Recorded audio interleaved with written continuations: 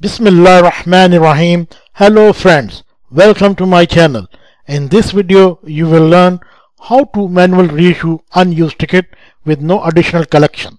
Reissue is an alteration to an airline journey that requires issue of an entirely new ticket, usually because if fare is higher, if there is a change of airline, if there is a class of service change with a fare difference, if airline does not permit revalidation, if airline has any changes fee and supporting EMD issuance, if there is a change of routing without changing point of origin.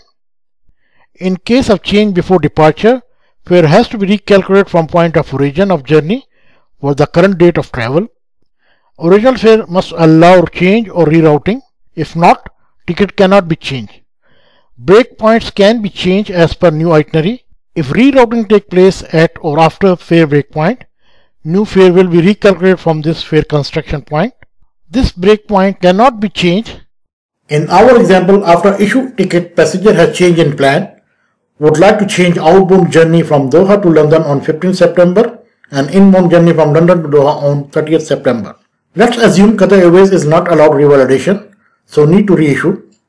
Before initiate reissue process, it is recommended to check coupon status and penalty rules. To display e-ticket record, use TWD transaction slash L line indicator plus 7 FL line number from PNR for original issue ticket. Enter. Here both coupon status is O, open. To check penalty rules, first display fare code for issued fare basis. Use FQD transaction, DOH, Doha 3 letter origin city code, LON, London 3 letter destination city code, slash A airline identifier, plus QR, Qatar Airways 2 letters airline code, slash C booking class indicator, plus J booking class, slash D date indicator, date of travel or traveled with year, slash R request type indicator, comma, document issue date with year, enter. Our issued fare basis on line number 10. To display penalty rules, use FQN fare code note transaction plus 10 fare from line 10 asterisk PE penalty rules category indicator enter. As per the penalty rules, changes is permitted anytime without charges. In case of no-show, charges will apply 515 US dollar. Update required date of travel in same PNR or create a new PNR. New itinerary has been updated. System automatically deleted transaction stored ticket record from PNR. Otherwise need to delete TST. Save changes for further action.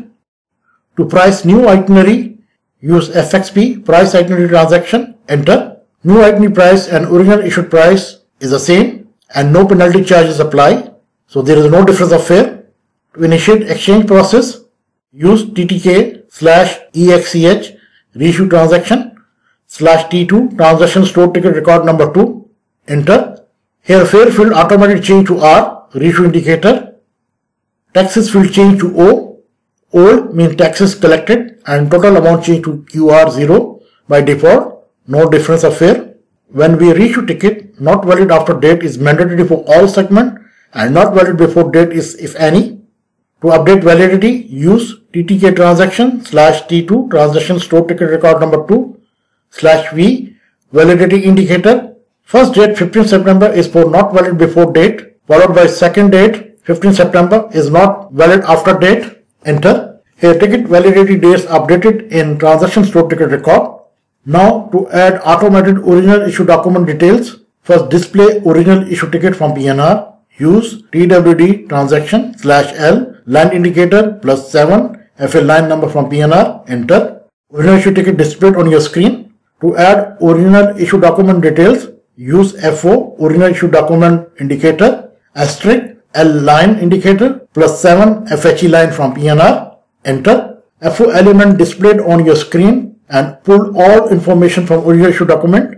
Now place your cursor end of FO line, insert slash followed by P passenger indicator plus 1 passenger number 1 slash S segment indicator plus 2 dash 3 segment number 2 and 3 of a PNR for reissue. Enter. FO element added in PNR on line number 10 of PNR.